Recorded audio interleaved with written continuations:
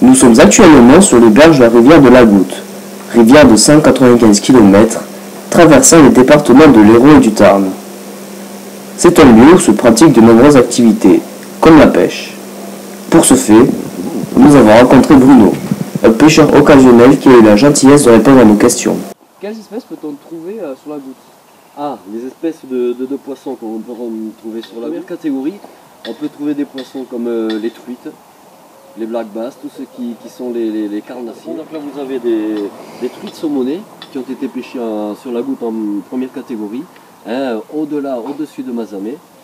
Et euh, vous montrer aussi un petit peu la fierté, c'est-à-dire un black bass qui a été attrapé au vif euh, sur une partie de la- Quand vous passez en seconde catégorie, il y a énormément de ce qu'on appelle les poissons blancs. Donc euh, des, des goujons, des gardons, des brèmes, des tanches.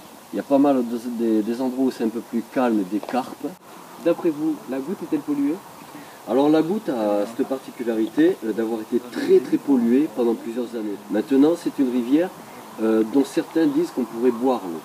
Alors peut-être c'est des choses à pas faire en toute, sécurité tout au moins.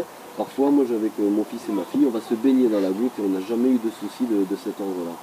Je vois beaucoup moins de sacs plastiques et de choses qui traînent. Ensuite, dans le cadre des aménagements des berges de la Goutte, nous avons rencontré Madame Philodo. Pourquoi cet aménagement? Alors cet aménagement, nous voulons en premier objectif embellir les berges de la Goutte, donc bien nettoyer tout cet endroit pour que bah, les pêcheurs puissent venir euh, au bord de la rivière et également embellir euh, le premier euh, niveau, permettre aux gens de venir pique-niquer, donc des tables de pique-nique ont été installées en granit de la côte. Pouvez-vous parler des projets d'ESL sur l'aménagement des berges Alors ESL, pour favoriser l'énergie hydraulique pour la production d'électricité, a rénové en 2016 les barrages sur la Goutte. Et entre autres celui de la Bassine Saint-Georges où l'écluse a été remise à neuf, neuf pardon, pour réguler les débits d'eau. De- Et également à nettoyer donc la pince à poissons de manière à ce qu'il y ait euh, plusieurs espèces qui puissent remonter la goutte.